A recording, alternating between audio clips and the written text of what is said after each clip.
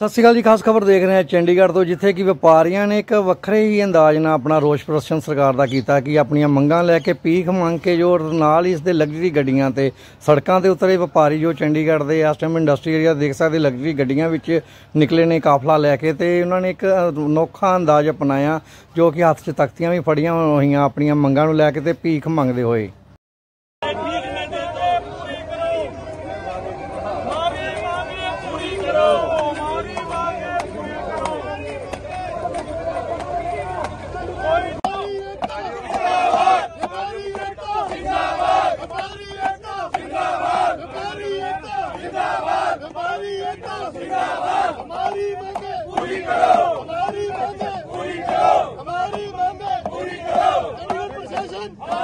आज जो प्रदर्शन है हमारा ये चंडीगढ़ प्रशासन और केंद्र सरकार के खिलाफ है। लगातार हमें वायलेशन और मिस के नोटिस भेजे जा रहे हैं। हम चंडीगढ़ प्रशासन से और केंद्र सरकार से मांग करते हैं कि जो नोटिस भेजे गए हैं उन नोटिस को वापस लिया जाए और तुरंत व्यापारियों को राहत दी जाए।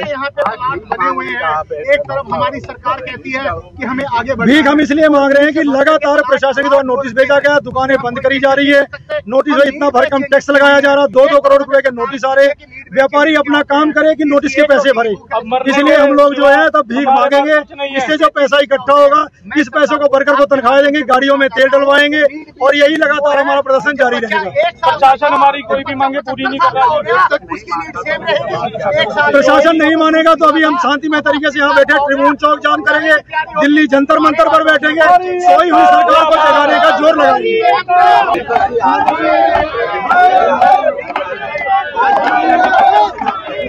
आज व्यापारी एकता मंच के द्वारा और सारी एसोसिएशन को साथ लेकर जो प्रशासन के द्वारा मिस और वायलेशन के जो नोटिस आ रहे हैं, सबको तंग किया जा रहा है।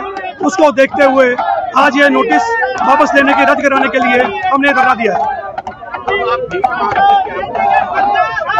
हम हम दर्शाना चाहते हैं कि प्रशासन के द्वारा जो मिस और वायलेशन के नोटिस है, उसको, उसके ऊपर प्रशासन ने मैक्सिमम सतारह करोड़ रुपए, एक करोड़ रुपए से लेकर सतारह करोड़ के नोटिस दिए हैं। हम चाहते हैं ये बीके पैसे इकट्ठे करके अपने प्रशासन को दें और उन्हें बोलें कि भाई साहब, ये पैसे ले लो और हमारे नोटिस वापस कर दो।